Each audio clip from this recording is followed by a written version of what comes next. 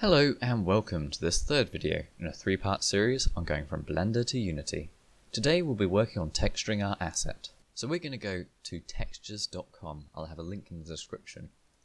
We're going to grab this medieval metal texture, so to get the albedo, normal and roughness. We're also going to be getting this rusted metal material. So once again, grab the albedo, normal and roughness.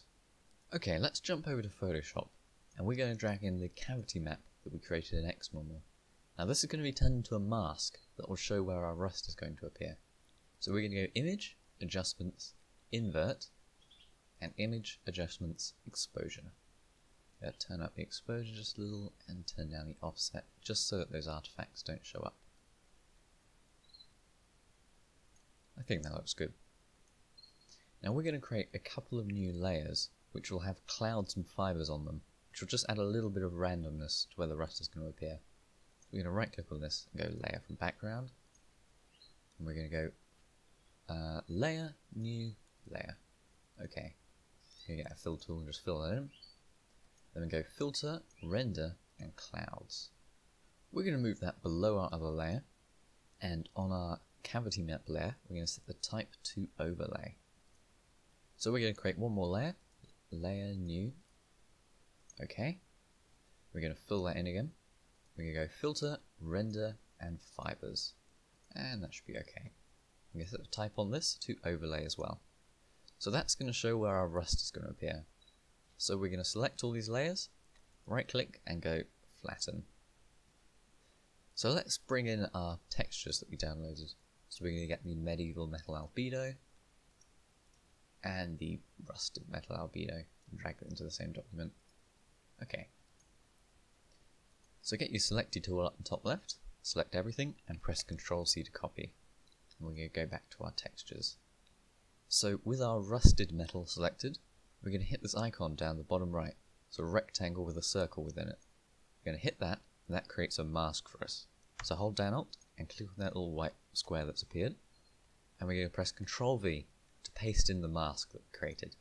So now you can see the rust has appeared here over the top of our other texture. We're just going to set the type to overlay and that should look a little, uh, no I like it on normal. Yeah, yeah it's fine on normal. Now we're going to do the same thing for our normal map and roughness. So I'm going to drag in my normal maps here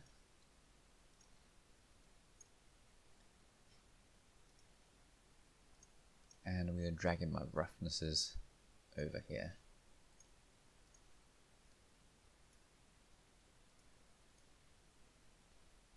So exact same again, we're going to, with our rusted layer selected, we're going to hit that icon down the bottom right, hold down Alt, click on the square, and press Ctrl V to paste in our mask. And same again for our roughness, we're going to hit that, hold down Alt, click that layer, and press Ctrl V to paste in our mask. Now with our roughnesses, I believe we're going to have to invert these, as Unity uses smoothness, which is the opposite. So we're going to go Image, Adjustments, Invert, and then select your other layer. We may have to rasterize this first, so if we right click and hit rasterize, and then we go Image, Adjustments, and Invert. So there we are. Now in our normal map, we're going to have to drag in the normals that we created in XNormal. So bring those up, they should be in your barrels textures folder and we're going to drag that on top. We're going to move that up the very top and set the type to overlay. So that looks good. We've got our albedo, our normals, and our roughness. Now we want to take our roughness and we're going to paste this in the alpha channel of our albedo map. So we're going to start by flattening our layers, so select them all with shift, right click and hit flatten image. Then we're going to press Ctrl C with everything selected, move over to our albedo. Click on channels and hit the icon down the bottom right that says new channel. This will be named alpha 1. And then we just need to paste in our map there. And turn everything on so it's visible again. So now we can file and save as, and we're going to save this one as a bitmap. So navigate to your barrel assets, barrel textures, final, and we're going to call this one barrel underscore albedo underscore smoothness and save. Okay. And we're going to save our normal map as a PNG. So we're going to save as PNG, barrel assets, barrel textures, finals, and call this barrel underscore normal and hit save. Okay, okay. So those are our textures completed for now. We're going to jump over to Unity and create a new project. So here we are in a new project in Unity.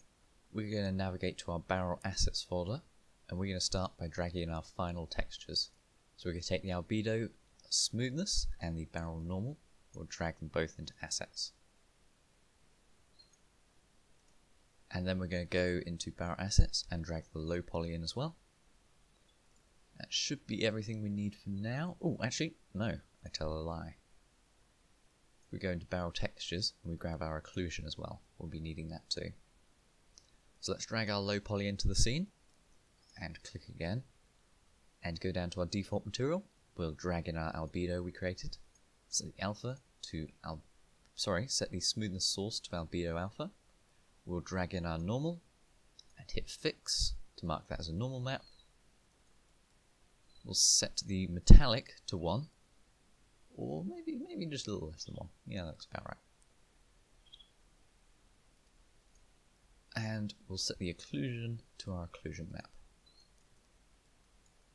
So there's our barrel set up in our scene in Unity. Looks it looks pretty good. You could always go crazy and add some more rust around the edges. I always love creating grunge in Unity. You can use this mask technique anywhere to add that extra bit of grunge by using two different textures. So as you can see we've done it here. We've used our rust texture and created a mask from our cavity map to add a bit of extra grunge around here. And it's come out very nicely. Thanks for watching. I hope you enjoyed this tutorial. We've covered the basic workflow going from Blender to Unity. We've created a high poly, a low poly, we've UV unwrapped, exported our objects, extracted maps, textured in Photoshop, and finally imported into Unity.